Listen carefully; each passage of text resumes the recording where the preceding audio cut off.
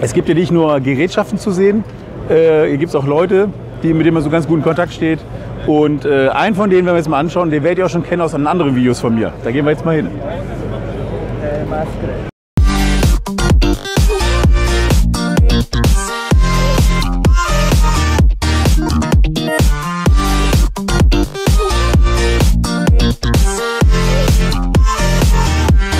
Ja, hier gibt, es, hier gibt es nicht nur Technik zu sehen, hier gibt es natürlich auch Personen oder ja, sowas wie Feuerwehrwilli, die man halt kennt aus dem Internet. Und es gibt auch welche, die sind auch bekannt und die kennt ihr auch aus meinen Videos schon. Und zwar steht da hinten der Joachim. da ist er wieder. Moin! Lang nicht mehr gesehen. Wir haben uns gestern schon kurz gesehen. Ich habe gesagt, halt Joachim, wir brechen mal kurz ab, wir, wir sehen uns morgen. Ja. So, ihr wisst noch hier, der, der so aussieht, wie ich gern würde. Aber du, hast, ja, wieder. du hast das Rezept ja verraten, habe ich gehört. Da können wir gleich mal kurz drüber sprechen. Weil wir hatten im letzten Video schon angekündigt, dass du bald ein Buch. Genau, veröffentlichst. genau. Und das hast du jetzt schon getan, ne? Ich habe das im Das Internet habe ja schon gar nicht jetzt veröffentlicht worden. Und ich habe natürlich ein Exemplar für meinen lieben Freund, Feuerwehr Willi, Ach, hat ihr schon geholt? schon fertig gemacht geholt. Also die gebe ich dir auch gleich mal mit, Was aber ist die denn lege ich das? mal zur Seite. Also, ein Exemplar, weil, und das muss ich euch einmal Moment, Moment, zeigen. Moment. Das ist ja auch keine Werbung, das ist, das ist aber wirklich er. Ja. Und den, und den kenne ich. Wirklich ich. Also wenn ich mich jetzt so hinstellen würde, wenn ihr jetzt so die ganze Kleidung wegdenken würdet, also Die Frauen, die Frauen haben sich garantiert schon die Kleidung weggedacht. Ja, also ich bin ja auch mal wenig bekleidet, mal viel bekleidet, mal ganz viel bekleidet, mal in Feuer voller Feuerwehrmontur. Und das ist auch der Schlüssel dieses Buches. Also es ist eigentlich Fit for Fire, geschrieben für Feuerwehrleute. Es ist jetzt ein ganz toller Ratgeber geworden für jedermann, der gerne auch mit freien Gewichten trainiert und sich fit machen will. Und ich sage, es ist nicht nur Fit for Fire, Fit for Life. Okay. Ganz viele Trainingstipps, ein bisschen locker erzählt, so wie wir hier quatschen. Ne? Und ich hoffe, ähm, ihr findet den Weg dahin, euch fit for fire zu machen. Aber das Exemplar, und das habe ich mal Ja, verstanden. angekündigt, ne? Ja, ich ja. ist jetzt speziell für dich. Ich habe mal eine kleine Widmung reingeschrieben. Ui. Posi. Ja. Es lag mir wirklich am Herzen. Wir kennen uns ja noch nicht lange. Und ich habe dich bei diesem Schlauchmanagement kennengelernt. Genau, Schlauchmanagement-Video, das war jetzt die Auflösung noch dafür. Kennt. genau. Also gibt es hier auch Seven to Go, ein geräteloses Workout. Natürlich alles sehr feuerwehraffin. Also da haben wir uns kennengelernt und ich fand, dass du einen wirklich mega geilen Job machst mit deiner Aufklärungsarbeit, mit deiner Informationskampagne, so würde ich es mal nennen. Ein Themen querbeet zum Thema Feuerwehr, vor allen Dingen sehr mundgerecht erzählt. Das gefällt mir richtig gut. Ich habe Schön. in dieser Art so ein bisschen, weil ich ähnlich ticke, ja, wir haben uns auch schnell in der Welling gefunden, Ja, die, also ja, ähnlich hier auch Haben wir schnell gemerkt, dass es passt. Und das Angebot und deine Einlösung des Trainings steht nach wie vor. Also du einmal zu mir kommen. Ich würde gerne dein wirklich objektives Urteil haben. Was hältst du von der ganzen Geschichte? Hier schon mal ein Exemplar für dich zum Mitnehmen, Dankeschön. zum Nachlesen.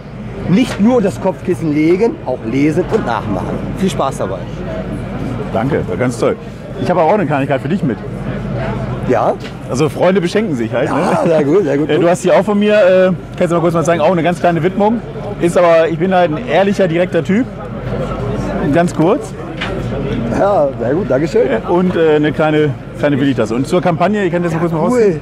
Ähm, ich habe ja diese Kampagne Respektlos. Ne? Das, ist, äh, ähm, das ist einfach, also diese Kampagne Respekt, ihr kennt sie wahrscheinlich. Äh, natürlich ist ja auch nochmal ein kleiner Gruß drauf, weil die Respektlos-Kampagne, Respekt geht immer an beide Seiten. Ich äh, muss den anderen respektvoll gegenübertreten, dann kriege ich es auch zurück meistens. Ne? Das ist aber nur so ein kleiner Gruß, weil ich es einfach, weil einfach am Stand habe, habe ich es auch mitgebracht. Aber das ist ja echt der Hammer. Aber das passt auch wieder in meine Schiene. Deswegen, ich merke immer, wir haben immer mehr Du machst Schnittpunkte. mega geile Aufklärungs- und Informationskampagne. immer mehr Schnittpunkte, also Respekt. Das ist auch ein großes Thema bei unseren Feuerwehrwettkämpfen. Das ist ja auch meine große Leidenschaft, meine Passion, so wie ich es in dem Buch nenne, neben meinem eigentlichen Feuerwehrjob. Da geht es auch um Respekt und Anerkennung der ganzen Teilnehmer untereinander. Und jeder, der dann mal auf den Wettkampf kommt, spürt das auch sehr schnell. Da geht es nicht nur darum, die Bestleistung zu erzielen. Jeder, der daran, daran teilnimmt, kriegt den gleichen Respekt Der entgegengebracht. letzte Platz wird auch gefeiert. Ne? Ja, es ist wirklich so. Und ich habe den gleichen Respekt gemacht. Ich trainiere Minimum fünfmal die Woche dafür. Und wenn jemand wirklich vielleicht aus Zeitgründen und auch vielleicht in einer ganzen anderen körperlichen Anlage dahin kommt und nur einmal die Woche trainiert, aber die gleiche Aufgabe erfüllt, auch wenn er, egal, wenn er doppelt so lang braucht, ich habe den gleichen Respekt davor, weil der hat sich genauso gequält wie ich, weil jeder in seinem Bereich sich irgendwie doch quälen muss, um das Ding sauber nach Hause zu bringen. Also auch da Respekt für jedermann. Ja, genau.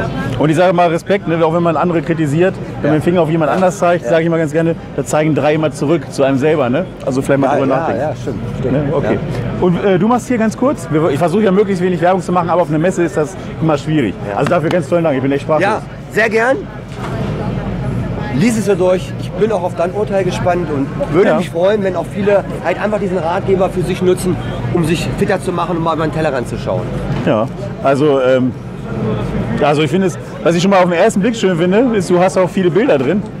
Guckt euch den mal an. Junge, Junge, Junge, Ja, eine Junge. sehr große Bildersprache, weil ich sage immer, ein Bild sagt mehr als tausend Worte. Warum, ich eigentlich hier bin. Also, Okay. du, sagst, du sagst keine Werbung. Ich Na, will, du- ich will auch gar nicht viel darüber philosophieren, aber der Feuerwehrmann, die Feuerwehrfrau sollte sich vielleicht auch mal bei dem nächsten Einsatzanzug generell mal zum Thema Einsatzanzug, Sicherheit im Einsatzanzug etc. beschäftigen. Es gibt halt verschiedene Arten von Oberstoffen, das ist vielen gar nicht so bewusst. Das Sandfarbene ist nicht nur Sandfarben, weil es eine schöne Farbe ist, das ist tatsächlich die Naturfarbe dieser Faser, dieses Oberstoffes, nennt, sich, so. P- nennt sich PBI. Wir kennen noch Nomes, wir kennen das Blaue, also ist eigentlich so das klassische Ding, das kriegst du auch. Ähm, damit sind wir groß geworden, aber der Markt ist unendlich groß geworden. PBI ist auch schon lange auf dem Markt und es ist eine ganz andere Art von Oberstoff. Meiner Meinung nach mit einer ganz anderen Art von Qualität. Aber dieses Urteil sollte man sich halt einfach machen. Hier ist so ein kleines, so ein kleines Gimmick, so nenne ich es mal. Beides ein Thermoman mit Feuer beaufschlagt worden, alles nach einer fest definierten Zeit. Und ich nenne jetzt hier auch gar keine Namen. Jetzt fasst das mal an, knet das mal durch. Das ist diese Art von Oberstoff. Ja, total weit, ganz normal. Unverändert. Oh, Knet, knet es mal wirklich durch. Ja, du darfst es durchkneten. Es darf. Genau. Genau, jetzt brösel jetzt mal wieder auseinander. naja. Da braucht man, da braucht auch- man nicht über Schutz Das reden. ist kein Fake. Da gibt es auch nachhaltige Studien drüber und ähm, Tests, die auch im Internet abrufbar sind. Also das passiert mit anderer Art von Oberstoffen und das ist die Qualität, die dieser Oberstoff einfach gewährleistet. Und Joachim ist nicht nur ein Sportler, er ist auch in der Berufsfeuerwehr. Ich weiß nicht, ob das jeder weiß. Ne? Also ich behaupte mal ein bisschen, dass du auch aus der Materie kommst, kann Ja. man mal so sagen. Und ja. Es ist auch bei uns ganz heiß in der Diskussion, was wird jetzt die nächste Art des Oberstoffes. Also es lohnt sich da auch speziell dafür, Arbeitskreise zu bilden, sich intensiv damit auseinandersetzen, Vor- und Nachteile für und wider eines Oberstoffes, eines kompletten Aufbaus eines Einsatzanzuges. Und Das ist ja krass. Ja, es ist unsere Sicherheit. Ich sage mal flaps gesagt, es ist so unser Arsch, der dann vielleicht brennt, wenn wir im Feuer sind. Ja, und da lohnt es sich darüber mal intensiver Gedanken zu machen. Danke dir, das ist echt interessant. Ja, ist für dich zum Mitnehmen. Danke dir, Joachim. Sehr ich gucke weiter. Ja. Schönen Dank. Schöner Stand. äh, und ja, vielen Dank für die ganzen Informationen. Ne? Ja. Super. Okay, dann gucken wir mal weiter. Los geht's. So, auf der Messe gibt es nicht nur interessante Sachen von Technik, es gibt auch interessante Menschen. Und viele von euch werden ihn auch kennen. Und zwar hole ich jetzt mal an meiner Seite, ihr könnt schon mal drüber nachdenken, wer könnte das jetzt sein? Wer treibt sich hier bei Feuerwehrtechnik und Rettungsdienst hier so rum? Na klar, warte, ich hole mal zu mir kurz. Hier kommt er. Scotty ist hier bei mir. Ja, hi. Grüß dich. Grüß dich. Warte mal, stopp. Soll ich jetzt Feuerwehr Willi sagen oder soll ich André? Feuerwehr Willi, ne? Machen wir Feuerwehr Willi. Feuerwehr Willi, ja, das ist ja, das ist ja, ja. Herr Scotty, sagen Sie ruhig Willi zu mir. Nein, also Scotty, muss ich sagen, ähm, ihr könnt das nicht wissen. Ich kenne ihn privat, wir haben ihn schon mal ein bisschen geschnackt. Ähm, er ist auch wirklich sehr sympathisch. Viel sympathischer, als ich gedacht habe. Ich glaube, das war eine gegenseitige Erfahrung Ja, gerade. ja, wir wir haben gut Fall. geklönt. Das, hat echt, das hat echt Spaß gemacht. Ähm, hat ihr auch hier finde ich auch geil, die T-Shirts. Scottys Maschinistenstände. Blende ich euch unten mal den Link ein. Im Text. Du bist auch hier, Luke. Was machst du hier heute? Du guckst. ja, ich bin heute Morgen losgefahren. 4 Uhr äh, hat der Wecker gestellt. Ja, und ja, sind wir hingefahren, dreieinhalb Stunden ungefähr. Sind super durchgekommen, waren noch früh genug da, da war Okay. nicht reinkommen. Und äh, letztes Jahr habe ich ja auch selber noch Videos gedreht. Habe ich gesehen. heute, Habe genau. ich gesehen. Aber heute auch ich- gefällt mir gedrückt. Ja. Das könnte man übrigens viel öfter machen. Ja. Ähm, ja, von mir kriegst du einen Daumen auf jeden Fall. äh, auf jeden Fall bin ich halt hingegangen und gesagt, ich gucke jetzt heute einfach mal gucken, quatschen, Leute kennenlernen und ähm, ja, halt einfach mal ohne irgendwas zu drehen, ohne was zu filmen und einfach mal entspannt hier so ein bisschen über die Messe gehen. Genau. Also wir haben auch ganz toll schon ein bisschen fachgesimpelt und auch über unsere beiden Geschichten jetzt im Internet mal so ein bisschen erzählt. Sehr ähnliche Geschichten. Ja, super. du musst, halt- musst halt wirklich sagen, also ich sag mal, die, die Unterschiede sind gar nicht so groß, ne? gerade so als, als Feuerwehr. Feuerwehr ist ja für mich und auch für dich äh, Ja. eine große Familie. Und das ist halt eigentlich auch egal, ob das jetzt Berufsfeuerwehr ist oder Freiwillige Feuerwehr ist. Ich sehe Ja. die Feuerwehr einfach nur als große Familie und äh, gibt zwischen uns keine Konkurrenz. Also ich finde jetzt, ne, Nee, nee, nee. halt- Jedenfalls finde ich. Nein, er ist ja sogar im wahren Leben. Ist er, Im wahren Leben ist er ja BF. Ne? Ja, genau. Berufsfeuerwehr. Berufsfeuerwehr, ich bin ja nur, ich bin ja nur kleiner Mogel von der FF. Ja, das, das ist Aber die Zahlen, die du eben hattest, das war interessant. Ja, genau. Also ich sag mal, ähm, ob jetzt Freiwillige oder Berufsfeuerwehr, ich sag mal, die Zahlen sind ganz interessant. Es gibt in Deutschland gibt es äh, 60.000 Berufsfeuerwehrleute und 1.040.000 Freiwillige Feuerwehrleute. Und 80 Prozent von der Fläche in Deutschland wird durch die Freiwillige Feuerwehr im Brandschutz abgedeckt. Also ich sag mal, da braucht man jetzt nicht viel sagen. Ne? Da sieht man halt einfach Also leg dich nicht mit uns Ja, an. da sieht man die Wichtigkeit der Freiwilligen Feuerwehr. Einfach ganz ne? Nein, ist so. Ich, ich habe dieses Konkurrenzding einfach noch nicht. Genau, das ist schön, dass es jemand sagt, der in der höheren Position ist, sage ich mal. Äh, wenn der das auch zu uns wirklich. Aber, aber du bist doch Hau- Hauptmeister oder wie, wie nennt man das bei euch? Haupt, nee, das, achso, Brandmeister. Ja, Ich, ich ja bin Brandmeister, aber du, du bist Ich doch, auch. Bist doch, Ich bin ja, auch auch. Ah, guck mal hier, ne? also gleiche Position. Ne? Nein, ich jetzt glaube, nicht, ich, ich glaub, bei uns ist das ein bisschen anders. Bei uns äh, Ortsmeister von der Grundausstattungswehr ist bei uns vom Dienstgrad das höchste, was geht, ist halt Brandmeister. Also, also ja. Bisschen anders wie Bundesländer, egal. Aber jedenfalls Aber Feuerwehr ist Feuerwehr. Feuerwehr. Also ja, und ich finde es rein feuerwehrtechnisch äh, haben wir keine Konkurrenz und videomäßig auch nicht. Deshalb würde ich mich auch freuen, wer ihn noch nicht kennt. An der Stelle, ich gehe jetzt auch gleich weiter durch die Messe, nur das wollte ich unbedingt loswerden. Besucht Scotty auch nochmal und bei mir auch könnt ihr auch bleiben. Ist, Ja. ist keine Konkurrenz. Ja. Okay, Alles klar, dann sage ich, ne? bis zum nächsten Mal. Ne? Scotty, Wir werden uns es- bestimmt noch mal sehen. total. Mach's gut. Ich freue ne? mich. Ja, ich alles, was da noch kommt. Alles klar, bis dann. ja. Ciao. Tschüss.